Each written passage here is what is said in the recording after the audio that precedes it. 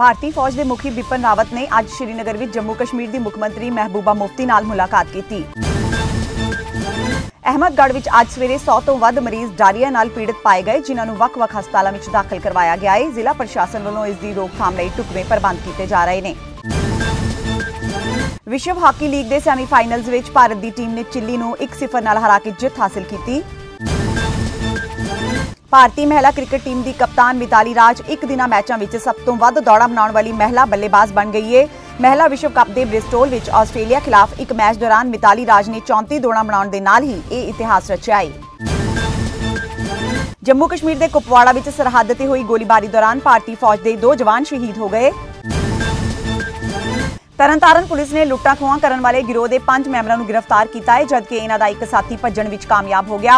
ਫੜੇ ਗਏ ਗਿਰੋਹ ਦੇ ਮੈਂਬਰਾਂ ਪਾਸੋਂ ਪੁਲਿਸ ਨੇ ਇੱਕ ਪਿਸਤੌਲ, 4 ਰੌਂਦ, ਚੋਰੀ ਦੇ 10 ਮੋਟਰਸਾਈਕਲ ਤੇ 45000 ਦੀ ਨਕਦੀ ਵੀ ਬਰਾਮਦ ਕੀਤੀ ਹੈ।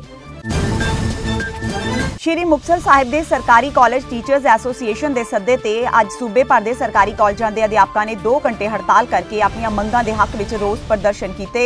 ਇਸ ਮੌਕੇ ਉਹਨਾਂ ਸਰਕਾਰ ਪਾਸੋਂ ਸਿੱਖਿਆ ਦੇ ਬਜਟ ਵਿੱਚ ਕੀਤੀ ਕਟੌਤੀ ਨੂੰ ਖਤਮ ਕਰਨ ਤੇ ਐਸੋਸੀਏਸ਼ਨ ਨਾਲ ਮੀਟਿੰਗ ਕਰ 7ਵੇਂ ਤਨਖਾਹ ਕਮਿਸ਼ਨ ਨੂੰ ਤਰੁੱਟੀਆਂ ਦੂਰ ਕਰਕੇ ਲਾਗੂ ਕਰਨ ਦੀ ਮੰਗ ਕੀਤੀ। ਸੁਨਾਮ ਵਿਖੇ ਇੱਕ ਮਕਾਨ ਦੀ ਛੱਤ ਡਿੱਗਣ ਕਾਰਨ ਘਰ ਵਿੱਚ ਮੌਜੂਦ ਪਿਓ ਪੁੱਤ ਦੀ ਮੌਤ ਹੋ ਗਈ, ਜਦਕਿ ਇੱਕ ਲੜਕਾ ਜ਼ਖਮੀ ਹੋ ਗਿਆ। ਹਾਈਵੇ ਤੇ ਸ਼ਰਾਬ ਵਿਕਰੀ ਮਾਮਲੇ ਵਿੱਚ ਸੁਪਰੀਮ ਕੋਰਟ ਵੱਲੋਂ ਅਰੁਣਾਚਲ ਤੇ ਅੰਡੇਮਾਨ ਨਿਕੋਬਾਰ ਨੂੰ ਛੋਟ ਦਿੱਤੀ ਗਈ ਹੈ ਇਹਨਾਂ ਸੂਬਿਆਂ ਵਿੱਚ ਹੁਣ ਹਾਈਵੇ ਤੇ 220 ਮੀਟਰ ਦੀ ਦੂਰੀ ਤੇ ਸ਼ਰਾਬ ਵੇਚੀ ਜਾ ਸਕੇਗੀ।